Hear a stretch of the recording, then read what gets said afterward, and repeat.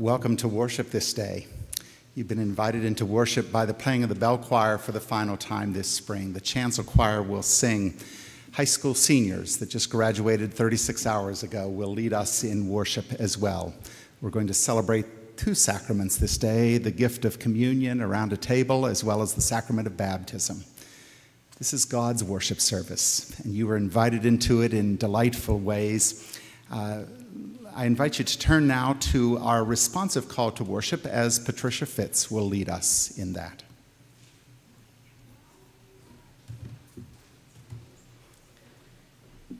In worship, we who are called Christian gather to express our unity with God and with each other. We are a community which spans for centuries, bound together by a covenant with God. We sing, pray, and celebrate the sacraments that speak of divine grace. We recognize milestones in like, like high school graduations. And we are drawn to worship the one who gives us life. As people of promise, as children of God, let us worship together with great joy. Please pray with me. Here we gather in worship, O God, people of all ages and in all circumstances, some whose homes are filled with the energy of young children, some who are enjoying retirement years. And particularly this day, we offer gratitude to you, O God, for those who graduate in this springtime season this day, we offer thanksgiving for the graduates with whom we have walked in these recent years.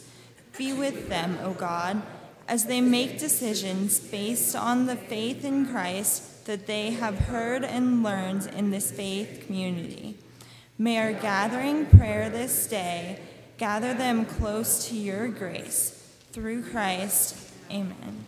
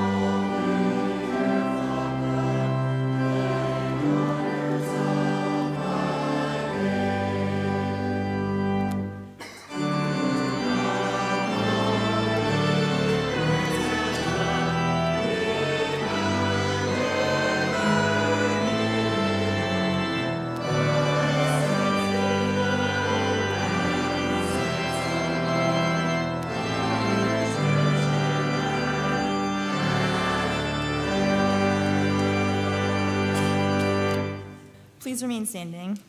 God has always been there for us, loving us and calling us to be all that we can be. Let us tell God all about ourselves, not leaving anything out. Please pray with me. Ever loving, ever living God, you have given us life itself and have asked us to be life giving people in your name.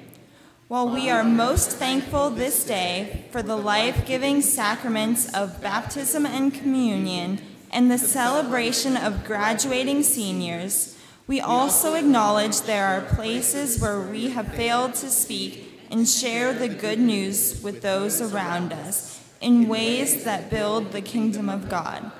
Forgive us. Remind us in all humility to pay attention to the children, the youth, and the young adults around us. Lead us all to teach through our actions of your transforming grace. Through Christ, amen. As we remain standing, I invite you to greet those brothers and sisters around you in the name of Christ. Peace be with you.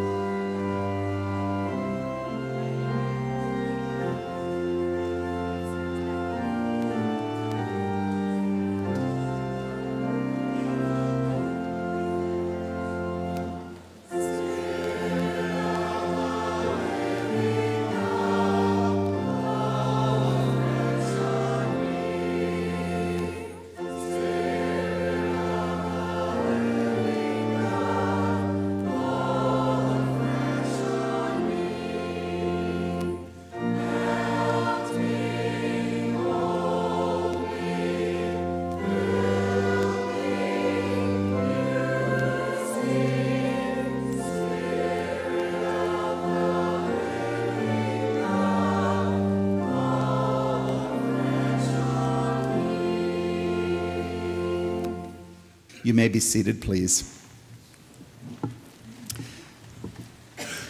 Uh, What a great day to worship God. I'm thankful to God that all of you are here as we share the good news of Christ and think about how Christ impacts our lives every day. Uh, next Sunday is also a great day to worship God.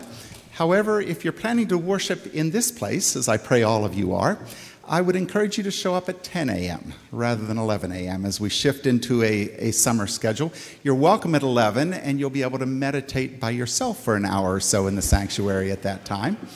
Uh, I actually won't be here myself next week. Reverend Jim McCormick will be preaching, but he always has something very important to say. So I pray that all of you will be here at what time did I say?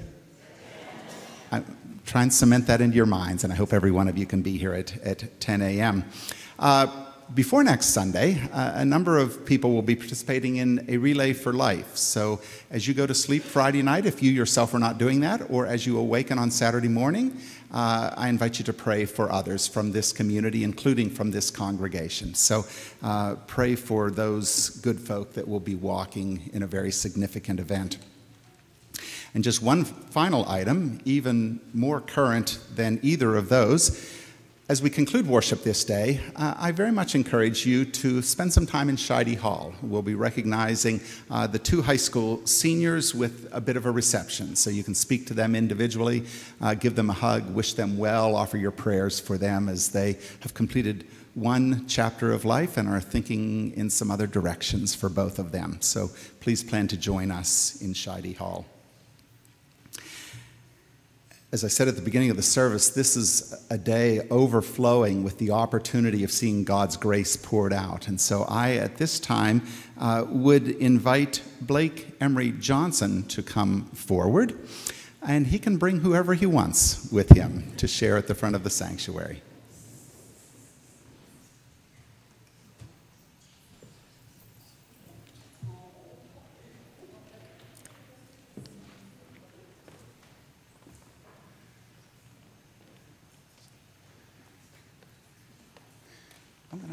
Four of you particularly to turn around. So why don't you stand here, Kate? Just stand there.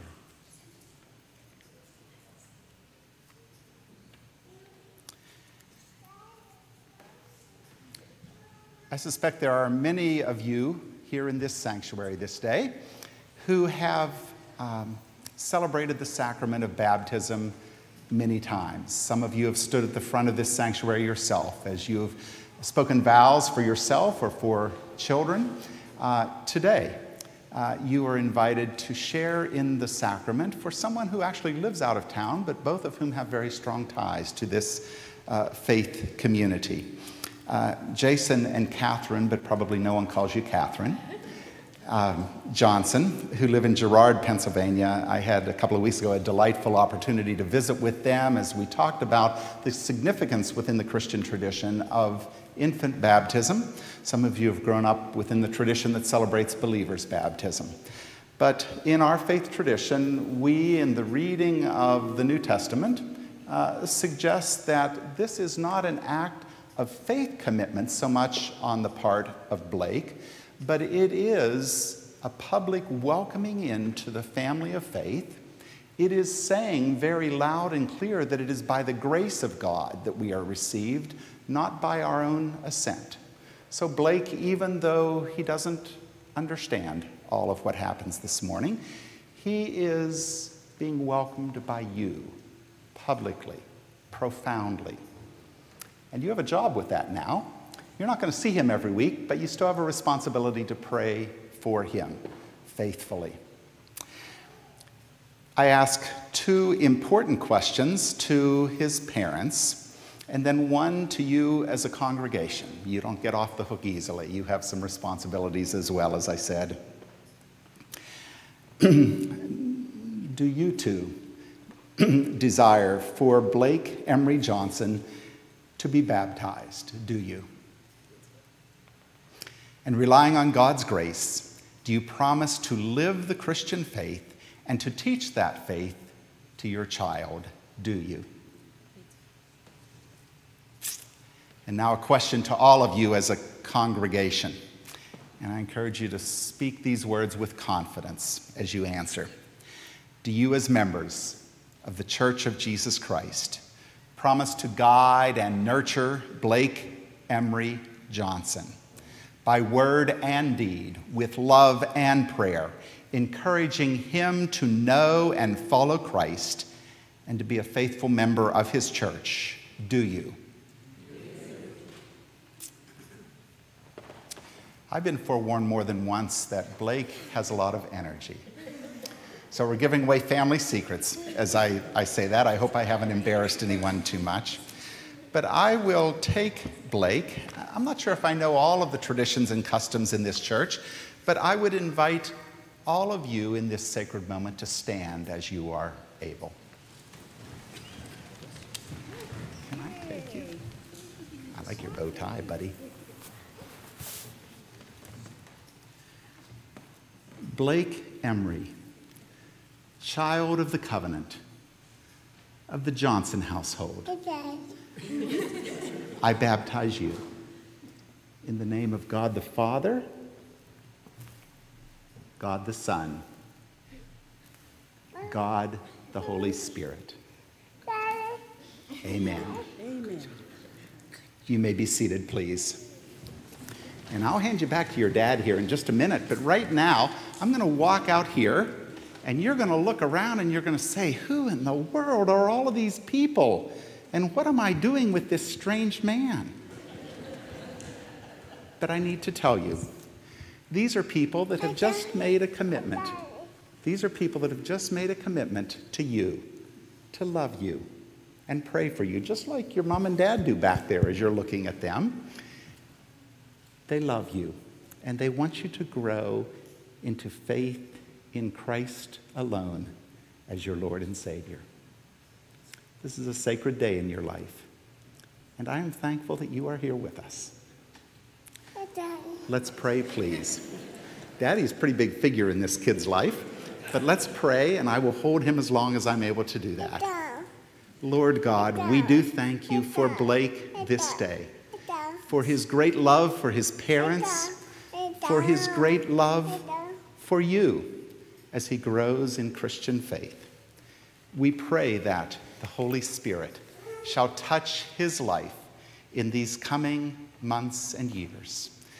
We pray that through his older brother Cooper and his parents and his grandparents, that they shall speak of the faith, read the scriptures, pray with him, so that he shall also trust in Christ.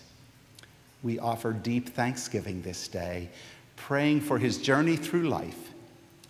In the name of Christ, amen. amen.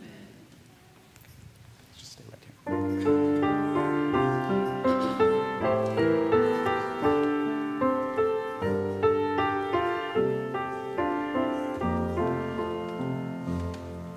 May blessings be upon you, precious Blake. May favor be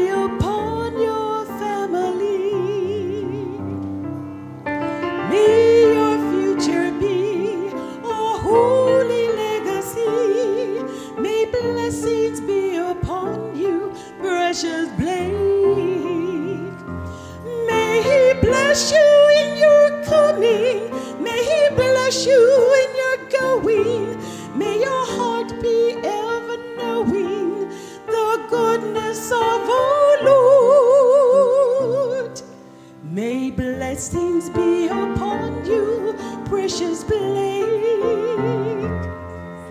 May favor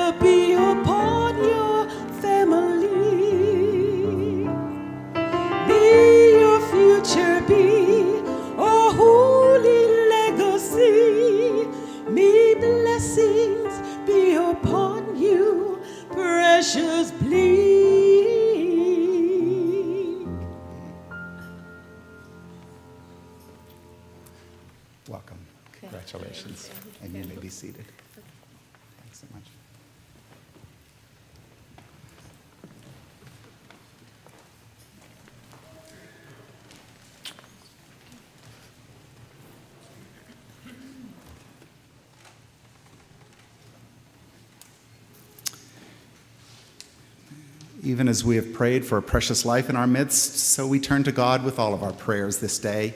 I invite you to pray with me, leading then into the Lord's Prayer. Lord God, we pray that we might integrate your kingdom into our being this day, in our thinking and in our doing. We see hints of the kingdom in the baptism of a young child. We see hints of the kingdom as we focus on relationships with each other where personalities and temperaments might diverge. We see hints of the kingdom as we pray faithfully and fervently for high school graduates that they might see the kingdom breaking forth all around us. We see hints of the kingdom as we pray for people like Sonny Canaday, who is at St. Vincent's Hospital this day. We see hints of the kingdom in the bread and the cup as the elements are shared. And in those hints, may we take a hint and have eyes to see the kingdom into which you have invited us. We pray with humility and confidence that we might claim the kingdom, even as we pray together that your kingdom might truly come, saying, Our Father, who art in heaven, hallowed be thy name. Thy kingdom come, thy will be done, on earth as it is in heaven. Give us this day our daily bread, and forgive us our debts, as we forgive our debtors. And lead us not into temptation, but deliver us from evil. For thine is the kingdom, and the power, and the glory forever. Amen.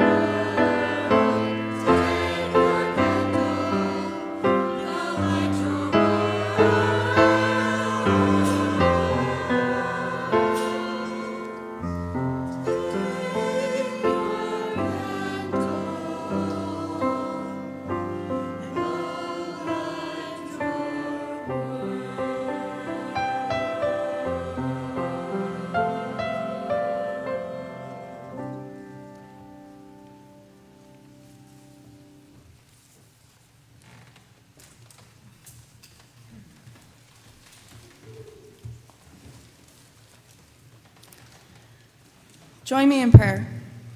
O oh God, we are your people seeking for a word from you. Open our ears, open our hearts, change us through our listening and our doing of your word. Amen. The first reading is Psalm 146. Praise the Lord. Praise the Lord, O my soul. I will praise the Lord as long as I live. I will sing praises to my God all my life. Do not put your trust in princes, in mortals, in whom there is no help. When their breath departs, they return to the earth. On that very day, their plans perish. Happy are those who help is the God of Jacob, whose hope is in the Lord their God, who made heaven and earth, the sea, and all that is in them, who keeps faith forever, who executes justice for the opposed, oppressed, sorry, who gives food to the hungry. The Lord sets the prisoners free. The Lord opens the eyes of the blind. The Lord lifts up those who are bowed down. The Lord loves the righteous. The Lord watches over the strangers. He upholds the orphan and the widow. But the way of the wicked he brings to ruin. The Lord will reign forever, your God, O Zion, for all generations. Praise the Lord.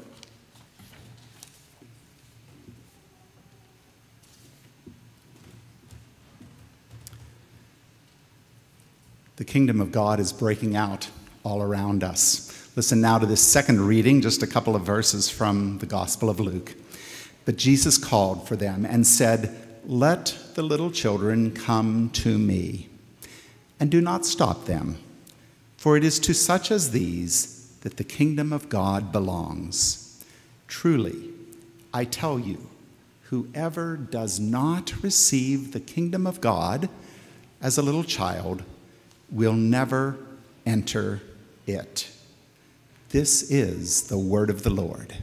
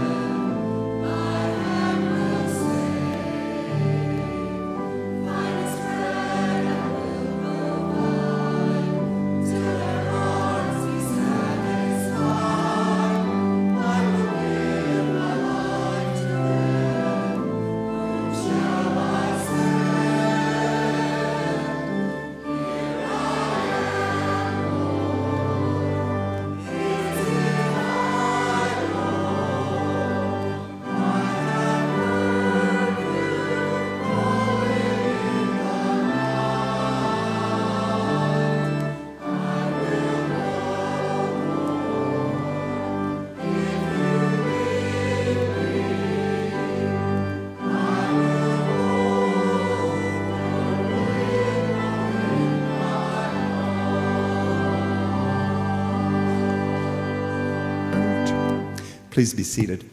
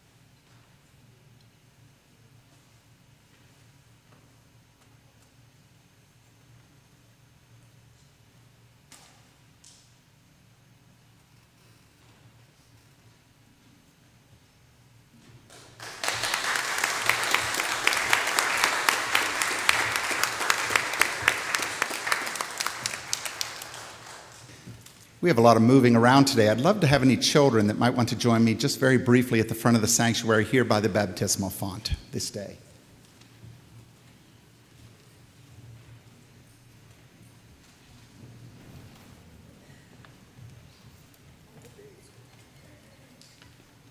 Why don't you sit on the floor?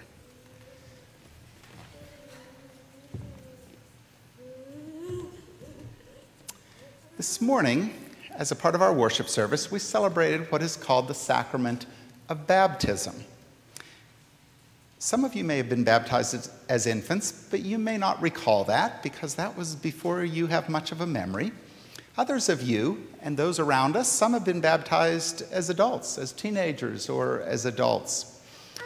It is a moment where we in the church say it is by the grace of God that we live and move and have our life. So when the, the water was placed and a Trinitarian formula, that's a long word, Trinitarian, God the Father, God the Son, God the Holy Spirit, as Blake was baptized, we are reminding ourselves that we are welcomed through this sacrament, through the symbolism of it. We are welcomed into something very profound God's great church that involves millions and millions of people all around the world. A person is baptized only once in life, and this is a sacrament, and the water that is shared, and this stands as a reminder to us of that faith commitment. In a moment, we celebrate another sacrament. We Won't talk about that today, the sacrament of communion. But I want us to think about what you participated in this day for a child not much younger than you all are. Pray with me, please. Gracious God, remind us in this sacrament of your grace and your presence. It is not our act, it is your act, O God, that welcomes us into Christ. We are thankful this day of participating through Christ. Amen. Now, today, I'd like for you to go back to your seats today. We're going to stay a little longer in the sanctuary, And then after Sarah Jones speaks, you may be released to go elsewhere. But go back with your families right now.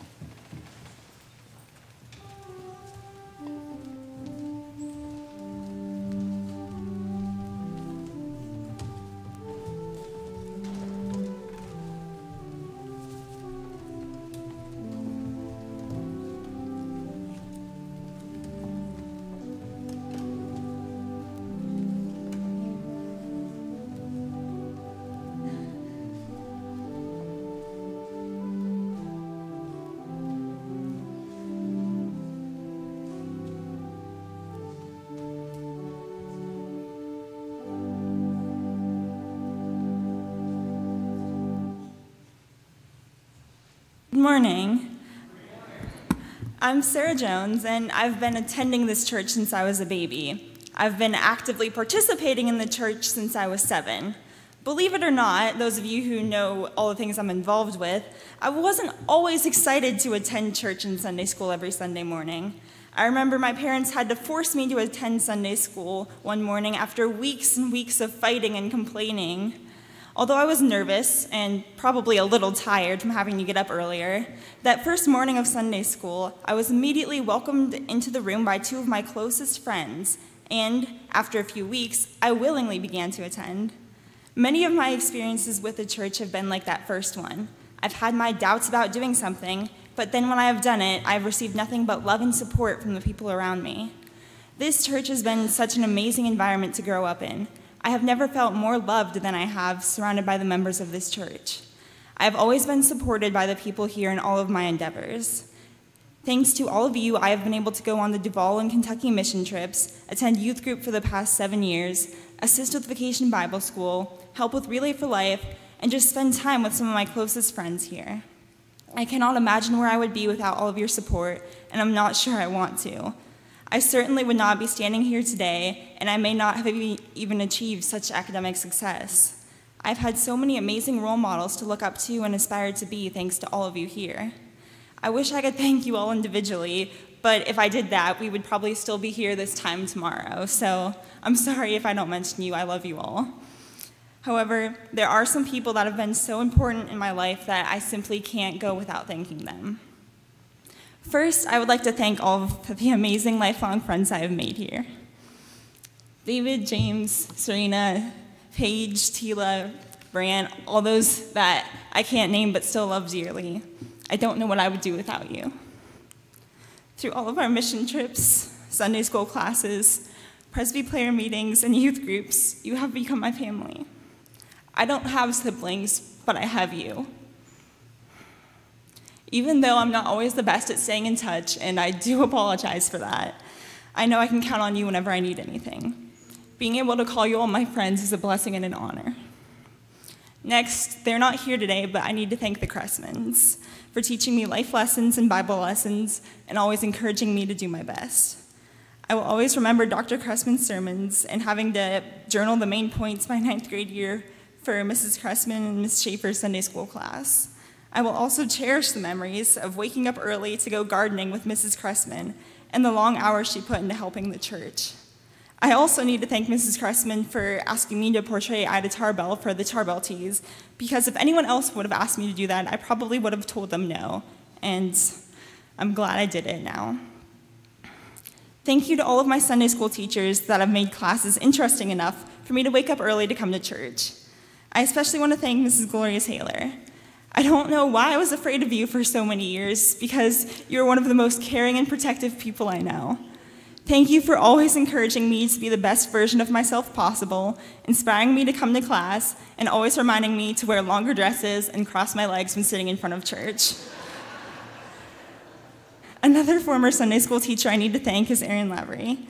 I was lucky enough to have her as my fourth grade Sunday school teacher, seventh and eighth grade German teacher, have her as my mentor this past summer with the Growing in History project, and my youth group leader this year. I genuinely don't know what I would have done without this year, without your constant support and guidance. Um, thank you for all the time and effort you have put in the programs, this, the youth programs this year.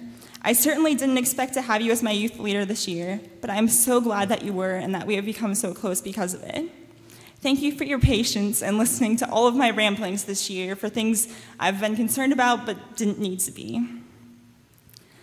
I also need to give a big thank you to Tom and Debbie Newcomb, who, in the past seven years of knowing them, have become my second family. Thank you for all of the time you have devoted to the youth of this church, especially my friends and I. Thank you for the miles you have driven me, amazing meals you have fed me, smiles you have put on my face, and the faces of people I care about, um, and the love you have surrounded me with. I know I can always go to you for support and hugs whenever I need to. I am so blessed to have you in my life, and I love you like you were my parents.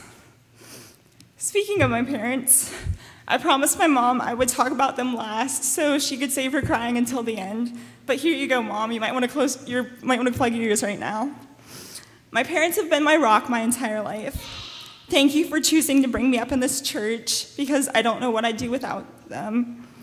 Um, for teaching me and guiding me in everything I do, for always supporting me, and for your constant love. I love you so much, and I'm proud to be your daughter. Thank you all for creating such a caring, loving, and kind environment for me to grow up in here. I love coming to church and seeing all of your smiling faces every Sunday morning. Thank you for the kindness and support I have always received from all of you. You are my church family, and I love you all. I am so proud to be a member of this church. Even though I may not be able to attend church here regularly after this fall, this church will always have a piece of my heart. Thank you.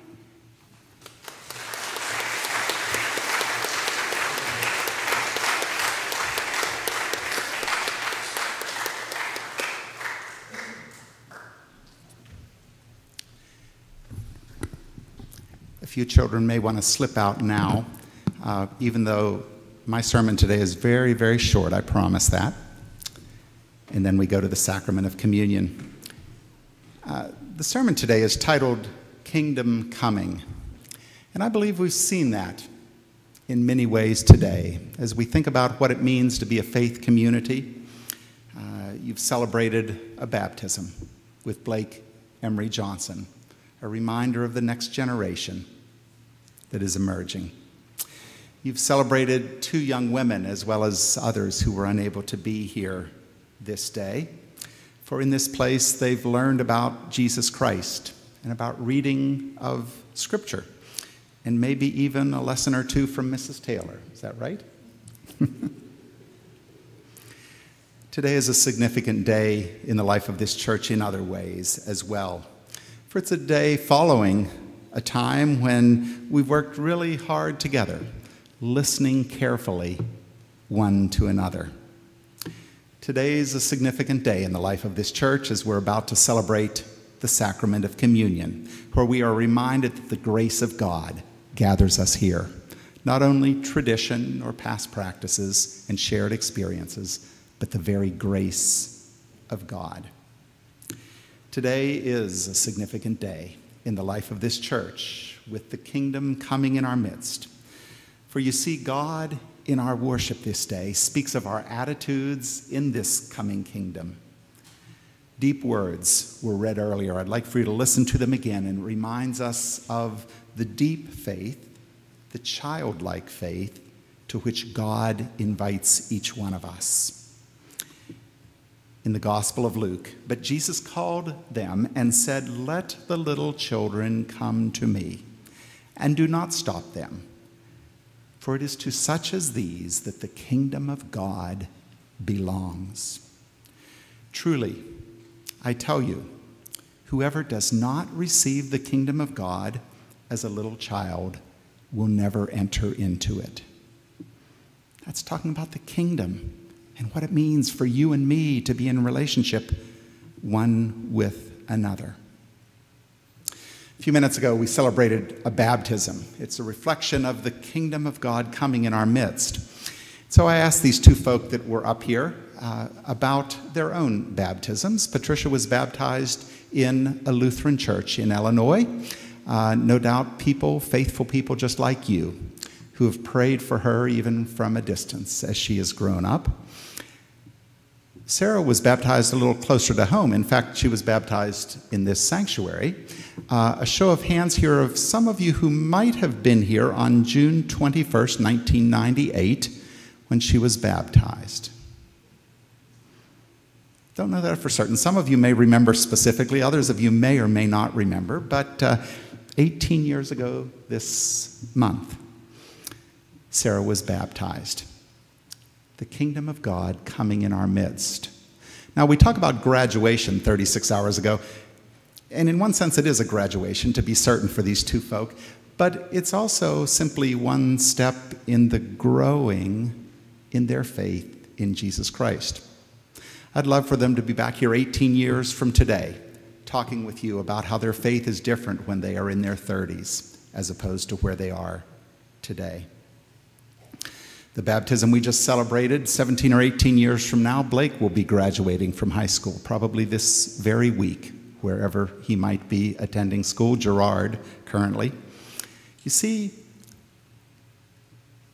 you participated in his baptism.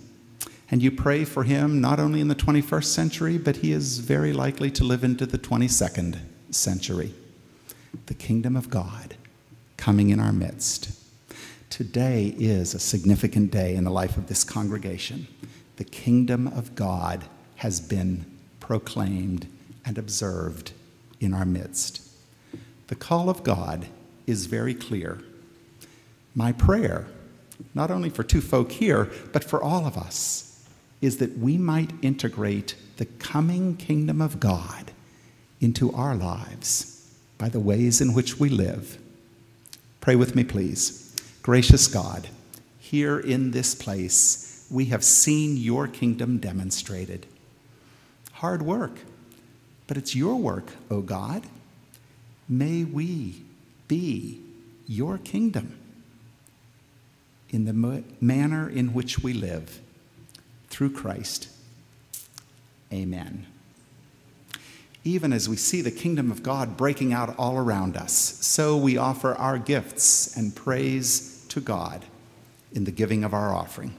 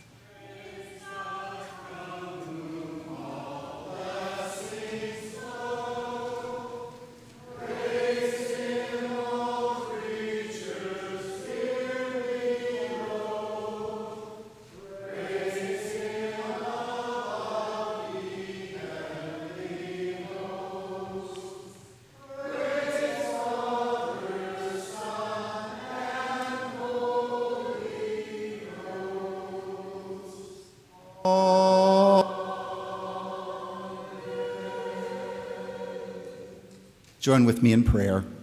Lord God, what great joy it is to share in the bounty of the kingdom you have created, to celebrate baptism and share in the prayers for those who are growing to adulthood in our midst. As we offer praise for the joy of participating in your world, we offer humble thanksgiving for the gifts of our hands, now given to continue to build your kingdom. May our gifts and our lives dedicated to you touch the lives of many. Amen. Please be seated.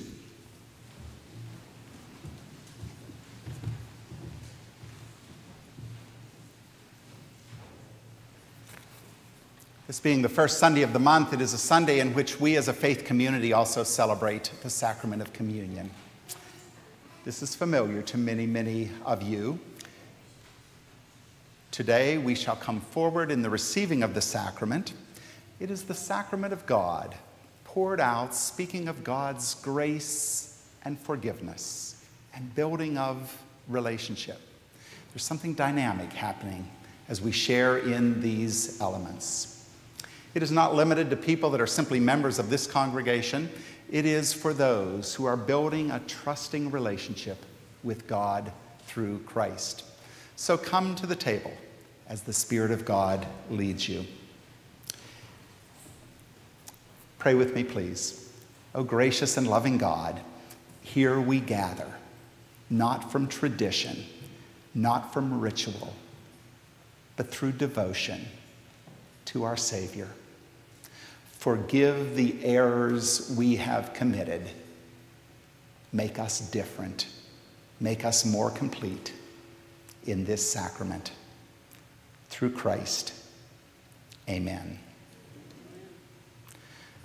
On that night in which Jesus was betrayed, he took bread, and after having given thanks for that bread, he broke it and he gave it to his disciples as I, ministering in his name, give this bread to you. He said, Take and eat. This is my very body broken for you. Do this in remembrance of me. And in the same manner, after supper, our Lord took the cup.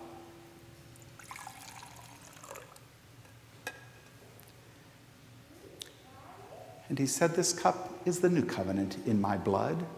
It is shed for the forgiveness of your sins. For as often as you eat of the bread and you drink of this cup, you show forth the Lord's death until he comes. All of you, drink of this. As you are able, please come forward. The elders will seek to serve you where you remain seated, but we very much encourage you to come forward in the receiving of the sacrament. I will be at the side and will pray briefly with those who might want to pray with me. Come and share the gracious gifts of God. We are your joyful people, O God, for we are seeing the kingdom of God breaking forth in our midst. Lead us to demonstrate that in the sacraments, in our singing, in our praying, in our relationship building, through Christ, the one who gives us life. Amen.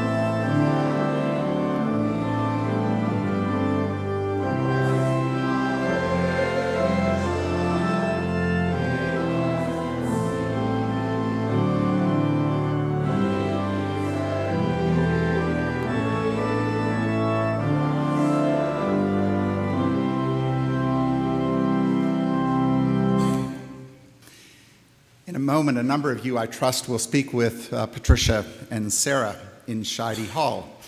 But our charge and benediction is found in the first verse that you just sang. This applies to the two of them on my right and my left, but also for each one of us. Christ be beside me, Christ be before me, Christ be behind me, King of my heart. Christ be within me, Christ be below me, Christ be above me, never to part. We are a part of the kingdom of God, and that's our charge and our challenge to live as such. May our triune God guide and direct each one of us this day and every day, building the kingdom through Christ. Amen.